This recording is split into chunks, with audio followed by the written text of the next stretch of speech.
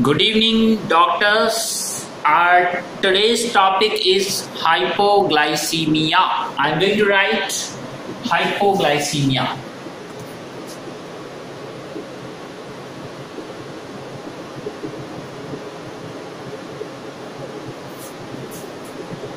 So, my dear friend, what does it mean? Hypo means low. Hypo means low. If you think hypo, and glycemia means glucose. Glucose.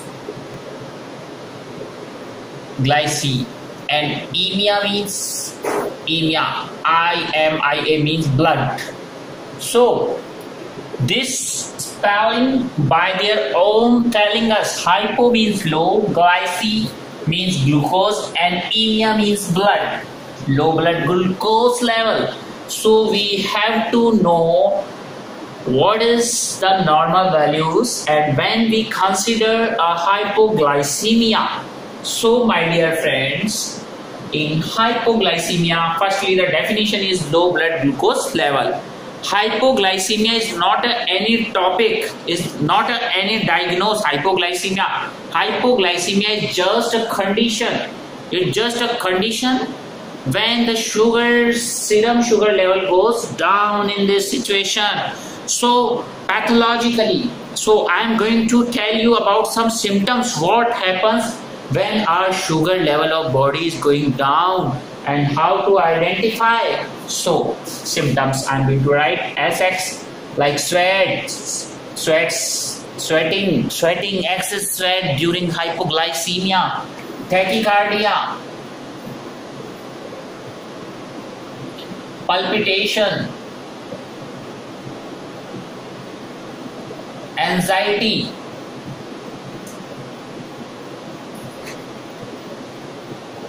These are the symptoms. Sometimes seizures very very severe hypoglycemia. ALOC acute loss of consciousness patient fall down loses his consciousness but in severe cases sometimes a patient is dull dry skin low turgor dry skin severely dehydrated.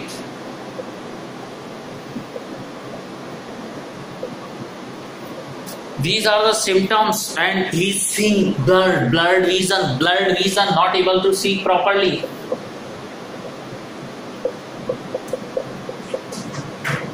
So symptoms, my dear friends, and some behavior changes, fatigue, nausea, vomiting, it include and nausea, we hear vomiting, fatigue, tired, not able to do any activity. So, my dear friend, these all are the symptoms. Tremors, tremors, tremors come.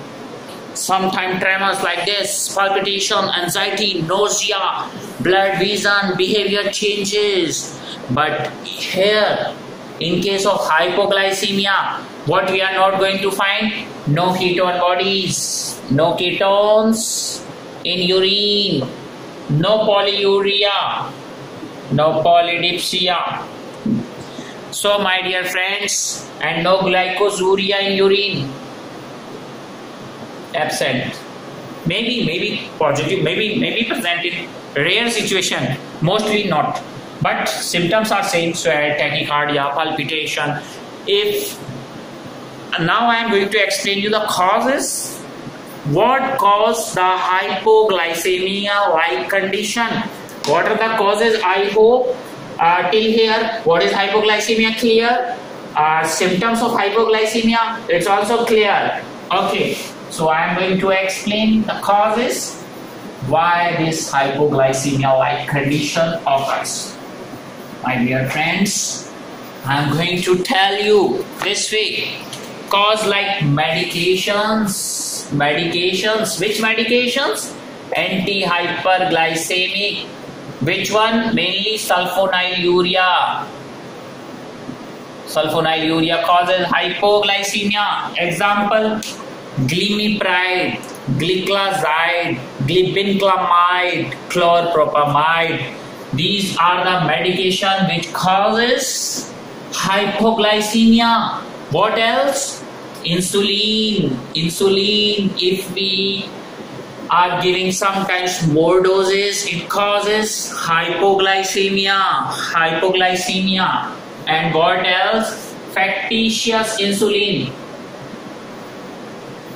Factitious insulin what does it mean? Maybe some patient is psychiatric who suffer from type 1 diabetes mellitus and he inject by their own a huge dose and he comes under hypoglycemia. Sometimes another cause infections. Infections. Also sugar level goes down in case of infections. Insulinoma insulinoma. What does it mean by insulinoma? It is a tumor of pancreas. Tumor of pancreas. What does it happen in this a beta cell produce? More insulin. More insulin. In case of insulinoma.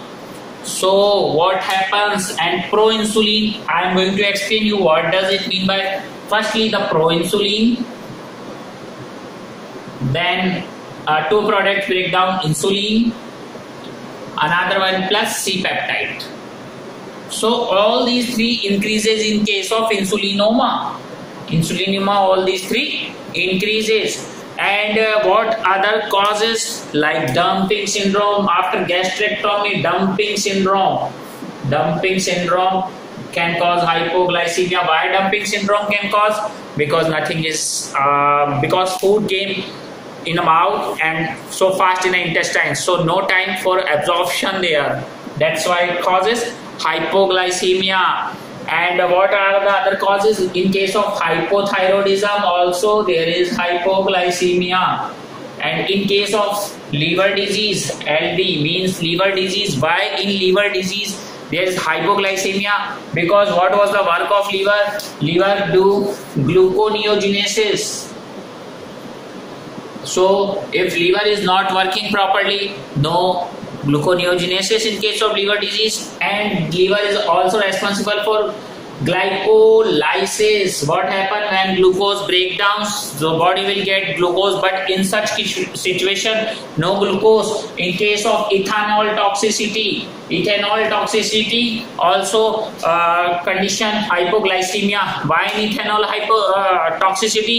Because ethanol damage the liver functions. That's why there is also a breakdown and hypoglycemia occurs. And also in case of addison disease my dear friends i'm going to explain all these disease uh, in different session but here i'm going to explain you why hypoglycemia occurs because here decreased cortisol cortisol levels. When there is a decrease in cortisol level that's why there decrease in epinephrine and glucagon. There is decrease in epinephrine and glucagon.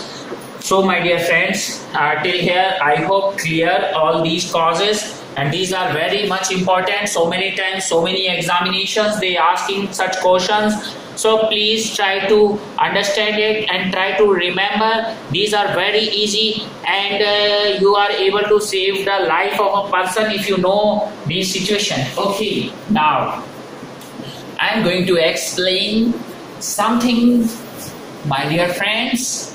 So that is very much interesting. I am going to take i am going to take hypoglycemia. How to diagnose? How to diagnose? So firstly we take here like insulinoma. Insulinoma here. And here exogenous insulin. Exogenous from outside insulin. Insulin exogenous. And uh, here we take sulfonylurea. Sulfo sulfonylurea. Sulfonylurea, what does they do? Sulfonylurea endogenous producing insulin, endogenous activating the insulin. So, if we talk about serum insulin level, serum insulin level in case of insulinoma, I already told insulinoma pro-insulin, firstly remember, increases pro-insulin increases insulinoma so it breaks down into insulin plus C-peptide. So, serum insulin increase in insulinoma? Yes.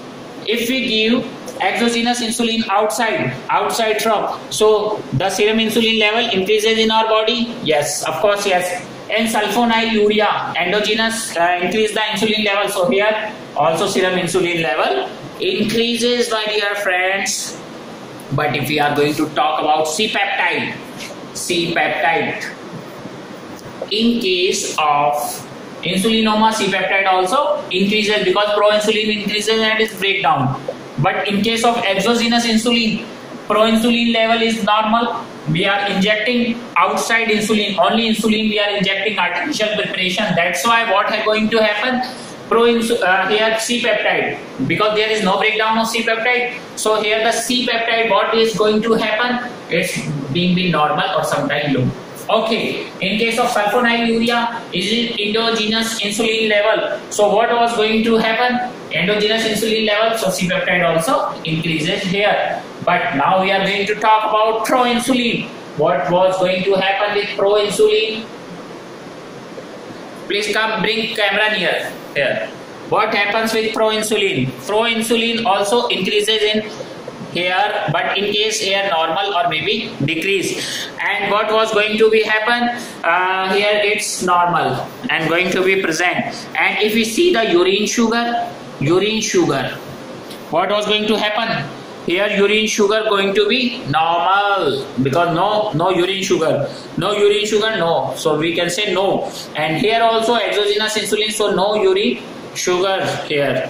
No urine sugar and uh, by uh, here sulfonylurea urine sugar may be present. I hope till here you it's clear for you. So now i am going to teach you uh, what are the levels and how to treat this hypoglycemic conditions. And you know I, in my practice i already seen such cases. So what is going to treat? What when the sugar level fasting we are going to consider? 170 till 120 it's normal but uh, 70 till 120 is normal.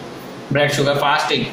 But in case of less than 70 sugar patient may be asymptomatic but in some cases he must be symptomatic which i already told. So it's mild hypoglycemia. If less than 50 it's moderate hypoglycemia. If less than 35 it's severe hypoglycemia. So in case of mild hypoglycemia we can give uh, like chocolates, like two ASF sugar or chocolate, uh, like toffee, toffees, some candy, Cadbury. Okay, candies, candies, not Cadbury. In moderate, we can give sometimes IV dextrose, 25% or 50%. But in case of severe, we need to give always, always 50% IV dextrose and that will and fluid balance also. If patient is dehydrated so we are going to uh, hydrate the fluid balance. In such a case uh, i hope my dear friend this is understand for you. Now it's a time for questions and i'm going to ask some questions okay a patient present with symptoms of hypoglycemia patient present with symptom of hypoglycemia. Investigation reveals decreased blood glucose yes blood glucose decreases and increase in insulin level. Insulin levels are increases but blood glucose level decreases. Insulin increases blood glucose decreases. Okay insulin c-peptide assay is done which show the normal level but c-peptide is normal. Uh, the most likely diagnosis is my okay options are first one is insulinoma b is accidental sulfonylurea injection C is accidental exogenous insulin administration and D is accidental metformin ingestion. So my question goes to Dr. MLA. Please answer. D. Now this time he is wrong because answer here is C. This time you have to wake up in my class. Accidental exogenous insulin administration. Okay. Another question. Uh, Dawn phenomena refers to Option A is early morning hyperglycemia. Option B is early morning hypoglycemia. Option C is hypoglycemia followed by hyperglycemia. Option D is high insulin levels. So what is dawn phenomena? My question goes to Dr. Lal Singh. Please answer. Yeah. This time he is absolutely right. Early morning hyperglycemia. Yes, this one is right. Factitious hyperinsulinemia is differentiated from insulinoma by option A C peptide. No, option A is insulin bodies. Option D is proinsulin. Option C is uh, C, uh, serum glucose level. Option D is C peptide. My question goes to Dr. Emily. Please answer. C. Wrong this time. C peptide. Yeah, C peptide is answer. Option is D. Okay. Dawn phenomena refers to, okay, again repeatedly asked. Uh, next question. Antabuse like effect caused by oral hypoglycemic drug. Okay, options are Acarbose and option B is metformin. Option D is gliclazide. Option C is gliclazide. Option D is chlorpropamide. My question goes to Dr. Emily again. Answers. Please answer which option is it? Which one? C. Wrong this time. D is the option. What happened with you? You have to prepare. This time you are not ready. Okay. Answer is chlorpropamide. So my dear friends, uh, that's all. Our today's session is completed. I hope uh, you got a lot of knowledge with my lecture. And in my next coming videos i'm going to explain type 1 diabetes type 2 diabetes mellitus and their complications like dka like hhs and microvascular macrovascular complications in my further videos. If you haven't watched my lecture like insu about insulin so you see that lecture also. And uh, my target to explain you all subject all 23 subjects together. Uh, so my dear friends that's all for today. Have a good night. Good day. Well done. Thank you